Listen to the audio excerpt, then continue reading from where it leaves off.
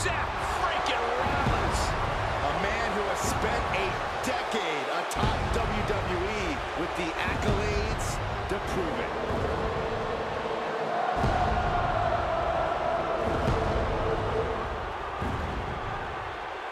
The following contest is scheduled for one fall.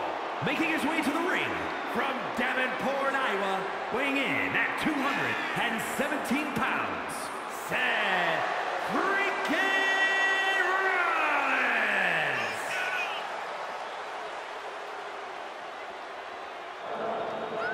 Gentlemen, the choir has never been louder than on the grandest stage of them all. A man with no shortage of ego, but it gets even bigger come WrestleMania. Successfully cashed in his Money in the Bank in the main event of WrestleMania back in 2015. Yeah, Michael, but Seth has also seen his share of misfortune at WrestleMania, courtesy of Cody Rhodes. Yeah, but tonight, the Visionary turns that WrestleMania luck around.